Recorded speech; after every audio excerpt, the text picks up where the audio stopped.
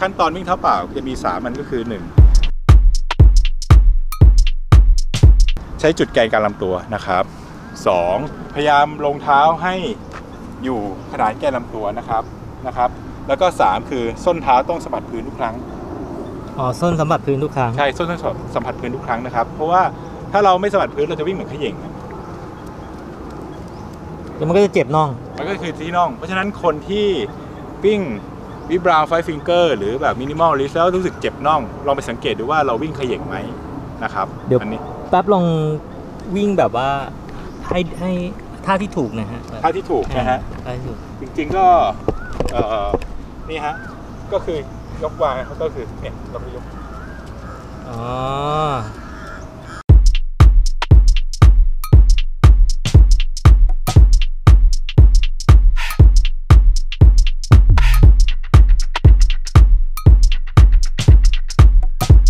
ส้นมันก็จะต้องลงด้วย ส้นสัมผัสพื้นนะครับแล้วอะไรส้นลงก่อนนะฮะเอ่อส่วนใหญ่ถ้าที่ลงจะลงหน้าขาจะลงก่อน เดี๋ยวนะอ่าจุดที่ลงก็คือจุดที่หน้าขาก่อนปุ๊บอะสัมผัสลงสัมผัสสัมผัสพื้นอะคือตรงจุดที่มันเป็นช่วงหน้าขาก่อนนะครับครับแต่พอลงเราเราเราเราลงจริง ๆ แล้วอะตรงเนี้ยจะเป็นจุดที่รับแรงกระแทกมากที่สุดอือฮึก็คืออุ้งเท้าเราครับนะครับส้นแค่สัมผัสเฉยอ๋อๆส้นไม่ได้กระแทกนะฮะสัมผัสเฉยๆใช่ส้นแค่สัมผัสเฉยๆเพราะฉะนั้น คนที่เอ่ออย่าเข้าใจว่าวิ่งเท้าเปล่าแล้วลงส้นแล้วจะเจ็บมันไม่ใช่คือการสัมผัสฮะจุดที่ลงน้ำหนักคือจุดที่เป็นส่วนโค้ง ส่วนโค้งหรืออุ้งเท้าเรานะครับผมอะขออีกที่หนึ่งนะฮะ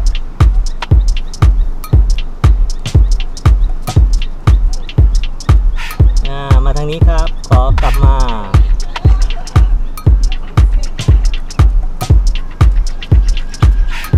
โอเค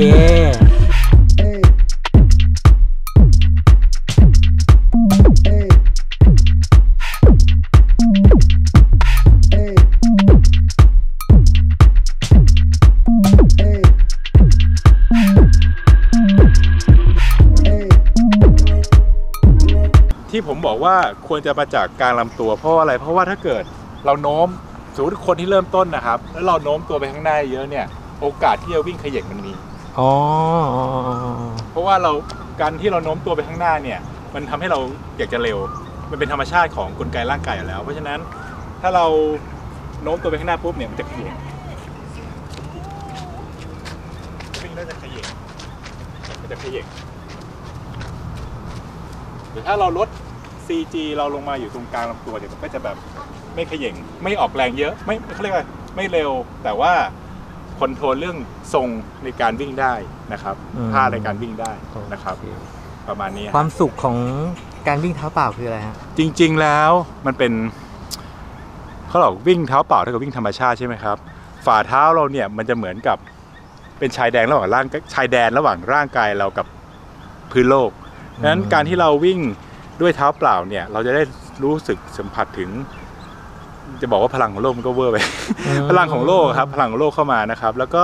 อย่างหนึ่งผมคิดว่าประโยชน์ของเท้าเปล่ามันมีเยอะ คือคุณไม่จำเป็นจะต้องเอ่อคุณใส่รองเท้าปกติก็ได้ แต่ขอมีเขาเรียกว่าอะไรอะโอเวลามาซ้อมเรื่องของเท้าเปล่า เพราะว่าอะไรเพราะว่าอย่างเท้าเปล่าเราอะกล้ามเนื้อใต้ฝ่าเท้าสำคัญนะครับ อย่างถ้าเราคือปกติถ้าเราใส่รองเท้าที่มันมี การเขาเรียกว่าอะไรการ support นะครับเยอะประสิทธิภาพอะกล้ามเนื้อเราจะถดถอยลงๆอืมการที่เรามาถอดรองเท้าวิ่งเนี่ยมันเหมือนกับเรามาออกกำลังกายฝ่าเท้าเราอะครับ ให้มันมีแบบให้กล้ามเนื้อมันได้ทำงาน ให้กล้ามเนื้อฝ่าเท้าได้ทำงาน อาการบาดเจ็บคุณก็จะน้อยลง เพราะว่าส่วนใหญ่แล้วคนที่บาดเจ็บอย่างเช่นรองช้ำอย่างอะไรเอ่อที่มันเกี่ยวกับใต้ฝ่าเท้าเราเนี่ยมันเกิดจากการอักเสบของกล้ามเนื้อที่เราไม่ได้ใช้มันนะครับ ดังนั้นถ้าเราฝึกให้มันแข็งแรง คุณใส่รองเท้าปกติก็ได้ แต่ว่าซ้อมด้วยการวิ่งเท้าเปล่า ก็ก็อาจจะช่วยตรงนี้ให้คุณแข็งแรงได้ขึ้น แล้วก็อีกสองคนที่เท้าแบนคือบางทีเราใส่รองเท้าแล้วสรีระเท้าเราปกติธรรมชาติอะด้วยความเชื่อว่ามนุษย์เราเกิดมาวิ่งได้อยู่แล้ว โดยที่ไม่ต้องใช้อะไรนะครับ การฝึกด้วยการวิ่งเท้าเปล่าเนี่ยมันจะเพิ่มในเรื่องของคนที่เท้าแบนเท้าจะกลับมามีโค้งขึ้นมาได้มันจะโค้งขึ้นมาได้นะครับเพราะกล้ามเนื้อเราได้ใช้กล้ามเนื้อเท้าเราได้ใช้นะฮะ แล้วก็เอ่อสุขภาพเท้าก็จะดีขึ้นนะครับประมาณนั้นนะครับ ก็คืออยากให้แทรกดูว่าถ้าใครจะเริ่มต้นเอ่อวิ่งเท้าเปล่าก็แนะนำว่าสวนพื้นหญ้าก่อนก็ได้ครับ พื้นหญ้าที่มันไม่แข็งเหมือนพื้นปูนหรือพื้นอะไรทั่วไปนะครับครับหรือไม่ก็เป็นเอ่อ ลู่วิ่งอะครับลู่วิ่งในสนามกีฬาก็ได้นั่นก็นิ่มนั่นนะผมอืมชอบมากเลยวิ่งแล้วสบายนะครับแล้วก็เวลาวิ่งจริง ๆ แล้วผมเองก็แนะนำว่าจริงๆผมไม่ใช่ว่า แต่บิตะบันจะวิ่งทุกที่ที่มันมีถนนมีอะไรนะ เราก็ต้องดูด้วยว่าสถานที่นั้นนะมันเหมาะกับการวิ่งไหมถ้าถ้ามันไม่มีจริง ๆก็ ผมก็แนะนำแนะนำรองเท้าเสมือนเท้าเปล่าเนี่ยฮะอันนี้อันนี้ก็เป็นตัวช่วยตัวช่วยฮะ Vibram FiveFingers นะครับ ก็ ข้อดีของเขาคืออะไรก็คือมันจะมีแผ่นยางนะครับ ซึ่งสามารถจะกันในเรื่องของเศษหิน เศษ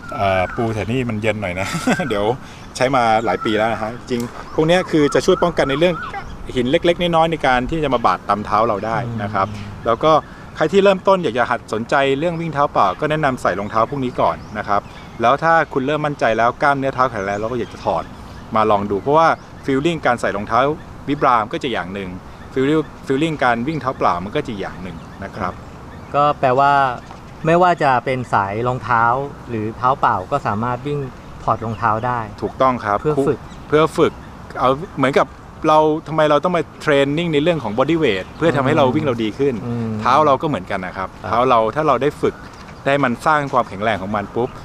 คุณมาใส่รองเท้าปกติคุณก็จะวิ่งได้ดียิ่งขึ้นโอเคด้วยนะครับ เพราะการวิ่งคือการพักผ่อน ใช่ครับ อันนี้ ถูกต้องครับเพราะการวิ่งคือการพักผ่อนครับผมเพราะว่าจริงๆแล้วผมชอบเป็นคนติดวิ่งนะครับแล้วผมก็วิ่งเกับทุกวันนะครับ แล้วก็เอ่อพอวิ่งเราวิ่งเกือบทุกวัน เราแต่เราไม่ได้วิ่งด้วยความหนักหัวใจที่มันหนักทุกวันนะครับ เราวิ่งเบาๆทุกวันมันมันสามารถทำให้คุณวิ่งได้ต่อเนื่องสม่ำเสมอได้นะครับผมเพราะฉะนั้นวิ่งช้าๆคุณเนี่ยก็แล้วฝึกวิ่งเท้าเปล่าด้วย ใส่รองเท้าด้วย ฝึก endurance ฝึกวิ่งโซน2มันมันมันไปทางเดียวกันได้หมดนะครับ ขอบคุณพ่อบ้านแป๊บมากครับ ได้ครับ ก็ขอให้วิ่งทุกคนวิ่งอย่างมีความสุขนะครับ วิ่งอย่างไรให้มีความสุขฝากเพจเพราะว่ารันเนอร์ไว้ด้วยนะครับ ขอบคุณนะครับครับสวัสดีสวัสดีครับ